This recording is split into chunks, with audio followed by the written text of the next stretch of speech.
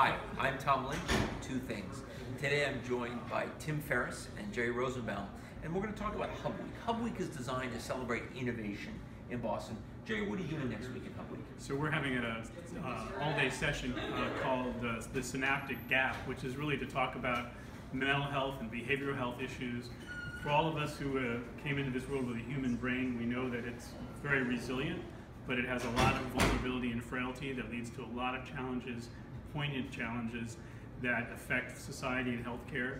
We're making great progress in neuroscience research, but the gaps between what we know and what we need to do to meet these challenges is still great. We're going to talk about those issues around what we know, what we need to do, and policy.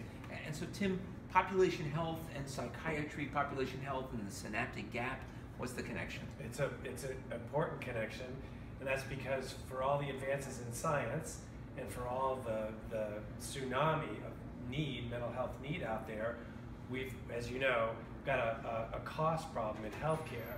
So the question is, can we innovate our way out of this um, conundrum, this policy conundrum, about how to pay for the services that the population needs, deliver them effectively, using the burgeoning science that's coming out of our labs.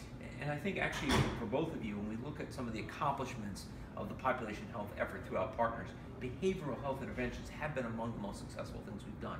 Is that true? Oh, Tom, that's exactly right. And um, looking forward to uh, um, uh, discussions of exactly what we're doing, how we're doing it, and a, a lot more to come on that. And, and Jerry, what exactly is the, the, format of the Synaptic Gap program next week? So we have uh, panels, uh, speakers, uh, keynotes, lots of discussion, uh, discussion led by Carey Goldberg from NPR.